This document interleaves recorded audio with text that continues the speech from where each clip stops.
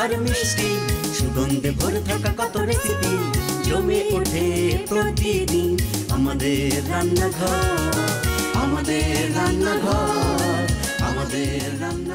সুপ্রিয় দর্শক, আমন্ত্রণ জানাচ্ছি আমাদের রান্নাঘরের আজকের আয়োজনে। আমাদের রান্নাঘর মানেই হচ্ছে চমকপ্রদ, মজাদার, চটজলদি রান্না করে ফেলা যায় এমন সব রান্নার রেসিপি আর বরাবরের মতো এবারও রয়েছে দুটো রান্নার রেসিপি যার একটি দেবেন আমাদের দেশের স্বনামধন্য একজন রন্ধনশিল্পী, আরেকটি আপনাদের পছন্দের কোনো তারকা। সুপ্রিয় দর্শক, আমাদের রান্নাঘরে যে মজাদার দুটো রেসিপি আজকে রয়েছে, চলুন না দর্শক, চট করে সেই রেসিপি দুটো দেখে নেই একবার। Smoky beef olive seafood salad সুপ্রিয় দর্শক শুরু করছি আমাদের রান্নাঘরের আজকের আয়োজনের প্রথম রেসিপি আর প্রথম রেসিপিটি আমাদের জন্য নিয়ে এসেছেন দেশের স্বনামধন্য রন্ধনশিল্পী আজমেরি রাউশন আপু কেমন আছেন? ভালো আছি আপু আপনি কেমন আছেন? আমিও খুব ভালো আছি। আমাদের রান্নাঘরের জন্য আজকে আপনি কি রেসিপি নিয়ে এসেছেন? আজকে আমি নিয়ে এসেছি স্মোকি বিফ অলিভ সুপ্রিয় দর্শক, রসন আপু আমাদের জন্য নিয়ে এসেছে স্মোকি বিফ অলিভ চলুন না রেসিপিটি তৈরি করতে কি কি উপকরণ লাগবে চট করে একবার দেখে নিই। গরুর মাংস পাঁচশো গ্রাম, পেঁয়াজ কুচি এক কাপ, আদা বাটা এক চা চামচ, জিরা বাটা এক চা চামচ, পেঁপে বাটা আধা কাপ, লবণ স্বাদ মতো, মরিচ গুঁড়া পরিমাণ মতো, হলুদ গুঁড়া পরিমাণ মতো, টক দই এক কাপ, অলিভ অয়েল দুই টেবিল চামচ, তেল এক চা চামচ, আস্ত গরম মশলা পরিমাণ মতো, আস্ত সরিষা পরিমাণ মতো, পাঁচ ফোড়ন পরিমাণ মতো, রসুন কুচি দেড় টেবিল চামচ পানি পরিমাণ মতো বেগুন একটা গরম মশলা গুঁড়া এক চা চামচ পুদিনা পাতা পরিমাণ মতো কাঁচামরিচ স্লাইস চার পাঁচটা চিনি স্বাদ মতো। উপকরণ তো দেখে নিলাম দর্শক এবার আমরা দেখব রসন আপু কি করে স্মোকি বিফ অলিভ তৈরি করে দেখান। আপু আমাদের শুরুতে কি কি লাগছে তাহলে? হ্যাঁ আপু আমি মাংস। আচ্ছা। আমি আগে হচ্ছে মেরিনেটটা করব। আমি এবারে দিলাম এক কাপ পেঁয়াজ। এখানে কতটুকু মাংস আছে আপু? আহ, পাঁচশো। পাঁচশো গ্রাম। গরুর মাংস আছে। পেঁয়াজ কুচি কতটুকু? এক কাপ। এক কাপ পরিমাণ। এরপরে হচ্ছে একটু আদা বাটা এক চা চামচ। হুম জিরা বাটা। এক চা চামচ। হুম হুম। পেঁপে বাটা। আচ্ছা। হ্যাঁ পেঁপেটা আমি পুরো ম্যাশড করে নিয়েছি এটা পেঁপে বাটাটা দিব। এখানে হাফ কাপের একটু কম। Half cup. সামান্য একটু লবণ এক চা আচ্ছা। চামচ। মরিচের গুঁড়া। ওকে আমরা মোটামুটি সব কিছুই মাংসে দিয়ে দিচ্ছি। হ্যাঁ হ্যাঁ এরপর হচ্ছে হলুদের গুঁড়া। এরপর আছে টক দই। এখানে আছে এক কাপ।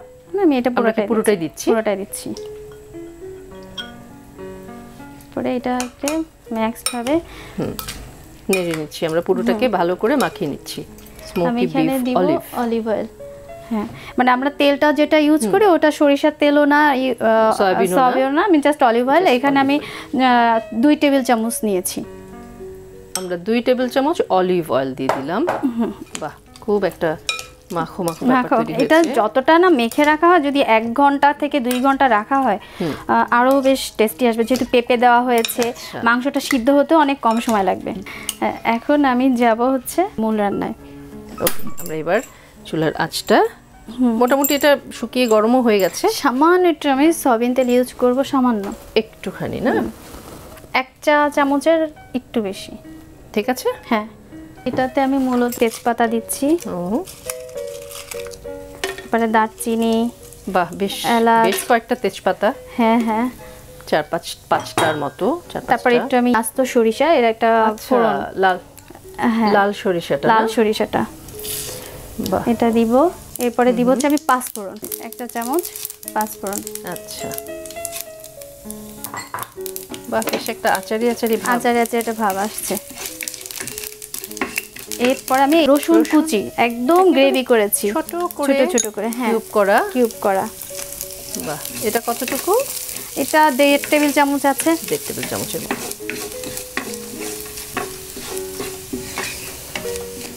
এখন আমি ম্যারিনেট করা মাংসটা দিয়ে দিব।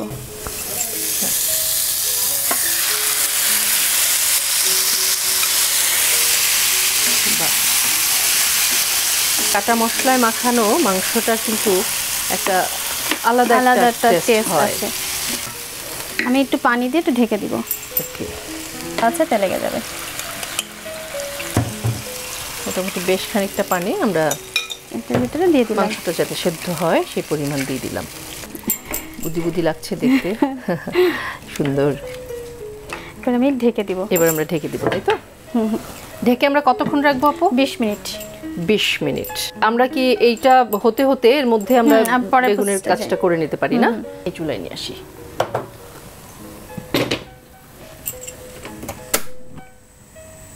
এটা হতে থাক আপনি এটাকে চুলায় দিয়ে দিলাম। বেগুনটাকে আমরা কি করে নিচ্ছি? একটু কেচে নিলাম। তাহলে আমরা বেগুনটাকে একটু চিড়ে চিড়ে নিচ্ছি। হ্যাঁ। ছুরি দিয়ে আগে কেটে নিলাম তারপর কাঁটা চামচ দিয়ে কেচে নিচ্ছি। তাতে করে ভেতরটা সেদ্ধ হতে সহজ হবে তাই তো? এবার আপনার তেল লাগবে না? তেল লাগবে। আমার হাতেই দেন। হ্যাঁ হ্যাঁ। একটু তেল আমরা মাখিয়ে নিচ্ছি বেগুনের গায়ে। হ্যাঁ। গুনেই করছি। আচ্ছা।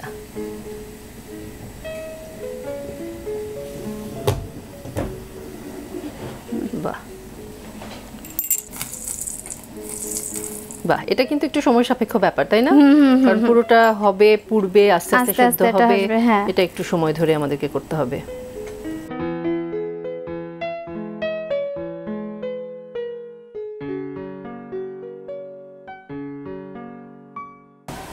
আপু আমাদের বেগুন প্রায় হয়ে গেছে তাই না? হ্যাঁ, হয়েই হ্যাঁ। গেছে। তাহলে আমরা চুলাটা আবার চেঞ্জ করে দেই। হ্যাঁ, হ্যাঁ, এটাকে আমরা ওই চুলায় দিয়ে দিই। আমি এটাকে ধরি। হ্যাঁ হ্যাঁ। আমি এটা এখানে যে বাকি হালকা আছে আপনি বাকি মশলাগুলো দিয়ে দিয়ে এটা।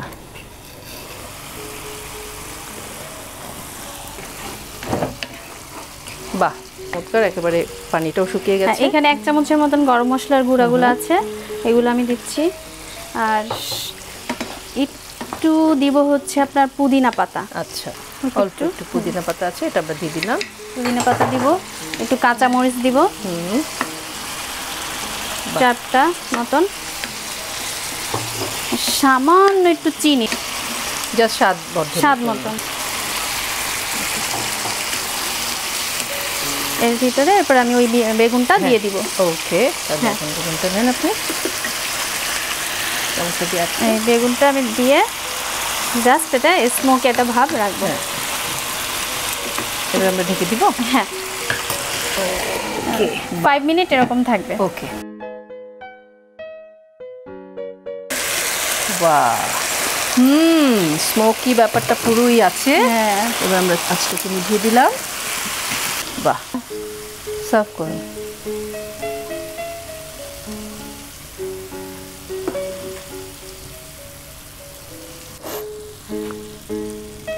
এবং একটা আচারি আচারি হ্যাঁ, গন্ধ আছে। তারপর একটু সরিষা দানা দিয়েছি।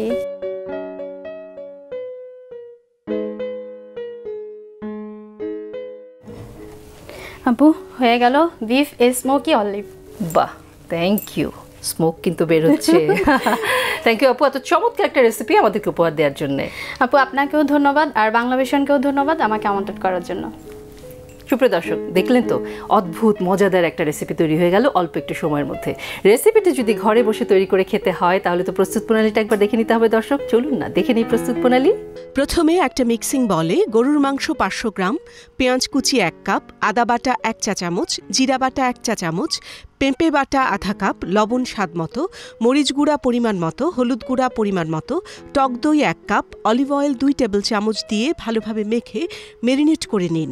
এবার একটা সসপ্যানে তেল এক চা চামচ, গরম মশলা পরিমাণ মতো, আস্ত সরিষা পরিমাণ মতো, পাঁচ ফোড়ন পরিমাণ মতো, রসুন কুচি দেড় টেবিল চামচ দিয়ে নেড়ে মেরিনেট করে রাখা মাংস, পানি পরিমাণ মতো দিয়ে নেড়ে ঢেকে বিশ মিনিট সেদ্ধ করে নিন। পরে মাঝারি সাইজের একটা আস্ত বেগুন নিয়ে ছুরি দিয়ে ভালোভাবে কেঁচে তেল মেখে আগুনে পুড়ে নিন। কিছুক্ষণ পর মাংসে গরম মশলা গুঁড়া এক চা চামচ, পুদিনা পাতা পরিমাণ মতো, কাঁচামরিচ স্লাইস চার পাঁচটা, চিনি স্বাদ মতো দিয়ে নেড়ে পোড়ানো বেগুনটা দিয়ে পাঁচ মিনিট ঢেকে রাখুন। হয়ে এলে নামিয়ে পছন্দ মতো সাজিয়ে পরিবেশন করুন মজাদার স্মোকি বিফ অলিভ। সুপ্রিয় দর্শক, নিয়ে নিচ্ছে ছোট্ট একটি বিরতি, কিন্তু কথা দিচ্ছি। বিরতির পর আপনাদের সামনে এনে হাজির করব আপনাদের পছন্দের একজন তারকাকে। ততক্ষণ পর্যন্ত কোথাও যাবেন না, আমাদের সঙ্গেই থাকুন, ফিরে আসব এক্ষুনি। আমাদের রান্নাঘর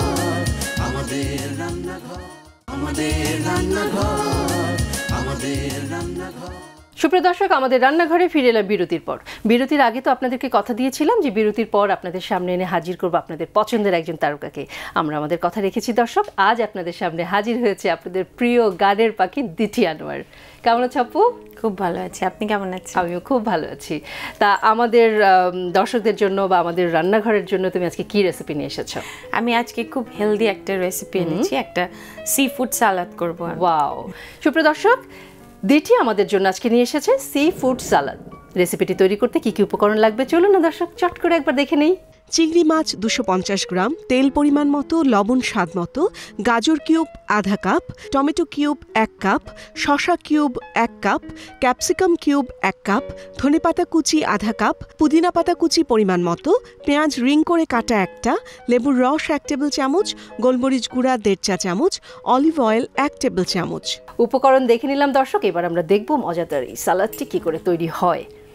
আপু কি লাগছে আমরা শুরু করছি। আচ্ছা। আচ্ছা প্রথমে একটু আগুনটা ধরতে হবে। আচ্ছা প্রথমে একটু তেল। একটু তেল না? হ্যাঁ একদম অল্প সামান্য। অল্প একটু তেল।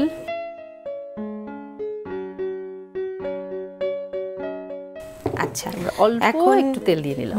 তেলটা একটু যখন গরম হয়ে আসবে তখন আমরা যেটা করব যে এখানে চিংড়ি মাছ রাখা আছে। হুম। বেশ হ্যাঁ, বেশ মাছ এখানে আছে আড়াইশো গ্রামের মতো। আচ্ছা এটার মধ্যে আমি একটু লবণ আর একটু গোলমরিচ দিব। লবণটা তো আসলে স্বাদ মতো। মানে অতটুকু চিংড়িতে ধরো আমি এই পরিমাণ দিলাম। তারপরে আমি এখানে গোলমরিচের গুঁড়া রাখা আছে। ওইটাও আমি একটু দিচ্ছি বাহ ডিফারেন্ট একটা ফ্লেভার তৈরি হয়ে গেল। এখন আমরা চিংড়ি তো আসলে তাপে দেয়া মাত্রই হচ্ছে হয়ে যায়। হয়ে যায়। আবার চিংড়ি মাছ বেশিক্ষণ রাখাও ঠিক না তাহলে না শক্ত হয়ে যায় শক্ত হয়ে হার্ড যায়, হয়ে যায়। হ্যাঁ। যাক, আমাদের ভাজাও প্রায় হয়েই গেল। হ্যাঁ কারণ এটাকে পুরোপুরি ভাজবো না যেহেতু স্যালাড সো একটু কমই ভাজবো। বাসায় কি অবসর সময় রান্না বান্না করা হয়? গান হ্যাঁ। নিয়ে ব্যস্ত থাকা হয় অনেক সেটা তো ব্যস্ততা তো থাকেই তারপরেও আমার রান্নার শখ আছে। আচ্ছা। আমি মাঝে মাঝে একটু করি আর আমার দুটো ছোট ছোট বাচ্চা তো ওরা আবার বাচ্চারা তো ডেইলি এক জিনিস একদম পছন্দ করে খেতে চায় না। তো ওদের জন্য একটু ডিফারেন্ট রেসিপি আমি ট্রাই করি। হ্যাঁ সেটা তো আমরা এই রেসিপি দেখেও বুঝতে পারছি। আর আমার মা খুব ভালো রান্না করেন আমার শাশুড়িও। বাহ তো ওনাদের কাছ থেকেও আমি শিখেছি। মা চিংড়িটা কাছ কিন্তু থেকে শেখা। শেখা। চিংড়িটা কিন্তু বলা যায় যে প্রায় হয়ে গেছে। হ্যাঁ আর বাচ্চারাও পছন্দ করে তো ভীষণ। হ্যাঁ আমি নামিয়ে দিব? হ্যাঁ হয়ে গেছে মনে হয়। আচ্ছা তো এখানে যে সার্ভিং ডিশটা রাখা আছে এখানে আমি প্রথমে চিংড়িটাই দিয়ে দিলাম। আচ্ছা আমরা একটা বড় বাটিতে চিংড়িটা নিয়ে নিলাম। এখানে আমি পুরোটা মিক্স করব। এখানে অনেক ধরনের ইনগ্রেডিয়েন্টস রাখা আছে স্যালাডে আমরা যেগুলো ইউজ করি। জিনিস দেখতে হ্যাঁ। পাচ্ছি। তো এখানে প্রথমে আমি গাজরটা দিচ্ছি। কিউব করে কাটা আছে। ওটা হচ্ছে এক কাপের মতো না? পুরোটাই আমরা দিয়ে দিতে পারি বোধহয়। আচ্ছা এখানে হাফ কাপের মতো আছে আচ্ছা আমি না? হ্যাঁ। তারপর এখানে টমেটো কুচিও দেওয়া আছে। আচ্ছা আমি পুরোটাই দিয়ে দিই। এক কাপের। শসাও টুকরো টুকরো করে কাটা আছে। বাহ। স্যালাডে তো এগুলো হেলদি মানে প্রথমেই বলা হলো যেটা ভীষণ হেলদি একটা হ্যাঁ। রেসিপি তারপরে এখানে ক্যাপসিকাম বা রেড ক্যাপসিকামটা বেসিক্যালি কালারের জন্য খুব ভালো। হ্যাঁ, capsicum করা হয়েছে। খুব ভালো। গ্রিন অ্যান্ড রেড একটা ফ্লেভারের জন্য ধনে পাতা তো অবশ্যই লাগবে। তুলনাহীন।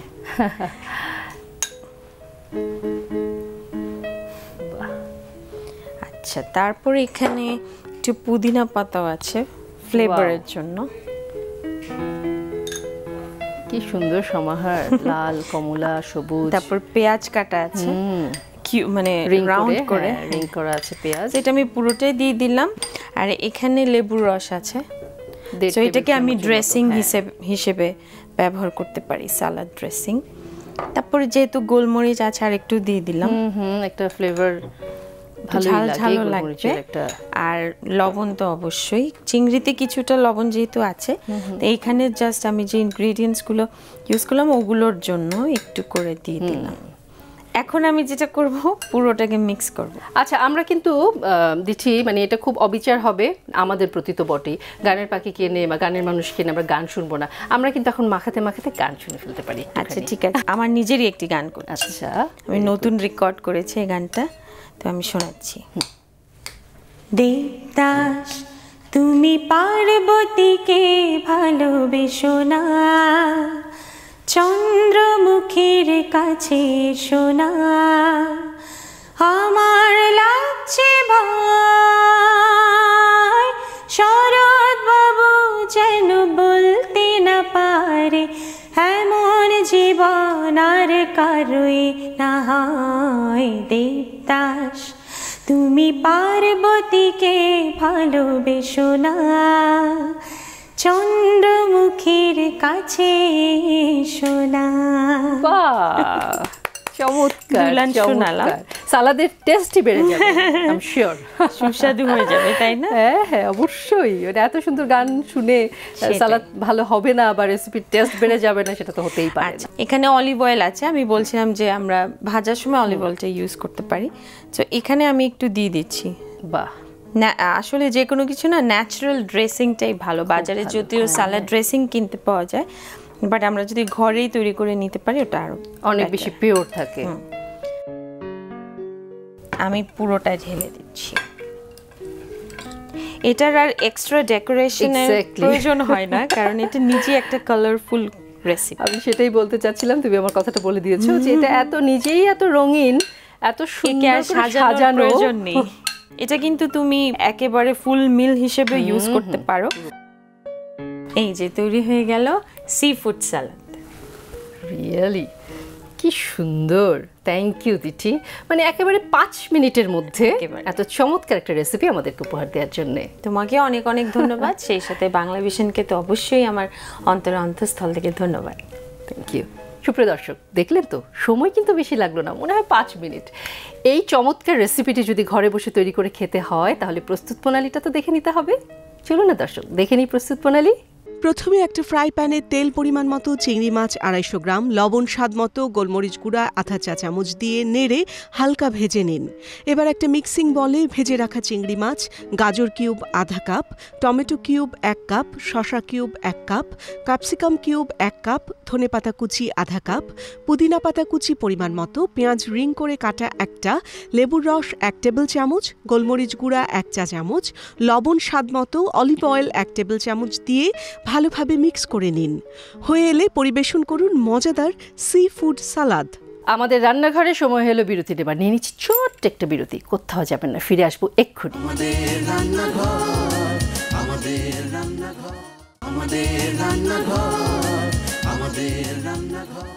সুপ্রিয় দর্শক, এবার রয়েছে টিপস পর্ব। আর আজকের টিপস পর্বে রয়েছে করলা। কি, নাম শুনেই নাক মুখ একেবারে কুচকে গেল তো? খোঁজ খাবেন না। করলার স্বাদে তেতো হলেও এর পুষ্টিগুণে কিন্তু এক নম্বর। করলা নিয়ে একটা মিশ্র প্রতিক্রিয়া কিন্তু সবার মধ্যেই আছে। কেউ ওই তেতো স্বাদের জন্য কিন্তু করলা খেতে ভীষণ পছন্দ করে, ভর্তা, ভাজি কিংবা তরকারিতে দিয়ে খেয়ে থাকে। আবার এই তেতো স্বাদের জন্যই কিন্তু কেউ পছন্দই করে না। চলো না দর্শক, করলার কী কী গুণাগুণ রয়েছে সেটা চট করে একবার দেখে নিই। করলার উপকারিতা। ডায়াবেটিস নিয়ন্ত্রণে। করলায় রয়েছে প্রচুর অ্যান্টিঅক্সিডেন্ট ও রক্তে চিনি কমানোর উপাদান। ডায়াবেটিসের রোগীরা রক্তে চিনির পরিমাণ নিয়ন্ত্রণে নিয়মিত করলা খেতে পারেন। রোগ প্রতিরোধ শক্তি বাড়ায়। করলা শরীরের রোগ প্রতিরোধ শক্তি বাড়ায়, কোনো ধরনের সংক্রমণের বিরুদ্ধে শরীরকে লড়তে সাহায্য করে। হজমে স্বস্তি আনে। করলার বড় গুণ হচ্ছে এটি হজমের জন্য উপকারী। কোষ্ঠকাঠিন্য দূর করতে এর ভূমিকা আছে। পরিপাকতন্ত্রের জটিলতা দূর করতে নিয়মিত করলা খেতে পারেন। শক্তিবর্ধক, করলার রস শক্তিবর্ধক হিসেবেও কাজ করে। এটি স্ট্যামিনা বাড়ানোর পাশাপাশি ভালো ঘুমে সহায়তা করে। শ্বাসকষ্ট দূর করে। করলার রসে আছে অনেক গুণ। এর অ্যান্টিঅক্সিডেন্ট শরীরের দূষণ দূর করে। হজম প্রক্রিয়ায় গতি বাড়ায়। পানির সঙ্গে মধু ও করলার রস মিশিয়ে খেলে অ্যাজমা, ব্রঙ্কাইটিস ও গলার প্রদাহে উপকার পাওয়া যায়। ক্যান্সার প্রতিরোধী। করলায় আছে যথেষ্ট লৌহ, ভিটামিন এ সি এবং আঁশ। অ্যান্টিঅক্সিডেন্ট ভিটামিন এ এবং সি বার্ধক্য বিলম্বিত করে। এছাড়া করলায় রয়েছে রোগ প্রতিরোধ ক্ষমতা সৃষ্টিকারী লুটিন এবং ক্যান্সার প্রতিরোধকারী লাইকোপেন ঔষধি গুণ। শরীর কামড়ানি, পানির তৃষ্ণা বেড়ে যাওয়া, বমি ভাব হওয়া থেকে মুক্তি পেতে উচ্ছে বা করলার পাতার রস উপকারী। এক চা চামচ করলা পাতার রস একটু গরম করে অথবা গরম পানির সঙ্গে মিশিয়ে দিনে দু থেকে তিনবার খেলে উপকার পাওয়া যায়। এছাড়াও দেহ থেকে বাত ব্যথা তাড়াতে চার চা চামচ করলা বা উচ্ছে পাতার রস, একটু গরম করে দেড় চা চামচ বিশুদ্ধ গাওয়া ঘি মিশিয়ে ভাতের সঙ্গে খেতে হবে। হার্ট অ্যাটাক রোধ করে। করলা রক্তের চর্বি তথা ট্রাইগ্লিসারাইড বা টিজি কমায় আর বাড়ায় ভালো কোলেস্টেরল, এইচডিএল। এতে নিয়ন্ত্রণ করে রক্তচাপ। বিশেষজ্ঞরা বলছেন, প্রতিদিন করলা গ্রহণে উচ্চ রক্তচাপ নিয়ন্ত্রণ সহজ হয় এবং প্রতিরোধ হয় রক্তনালীতে চর্বি জমার কারণে হার্ট অ্যাটাকের প্রবণতা। দর্শক, আমাদের রান্নাঘরের আজকের আয়োজন থেকে আমি বিদায় নিয়ে নিচ্ছি। কিন্তু বলে যাচ্ছি, ঠিক একই দিনে, একই সময় আবার ফিরে আসব আপনাদের সামনে নতুন নতুন, মজাদার কোনো রেসিপি নিয়ে। ততক্ষণ পর্যন্ত আপনারা সবাই ভালো থাকুন, সুস্থ থাকুন, সুন্দর থাকুন এবং বাংলা ভিশনের সঙ্গে থাকুন। টাটা।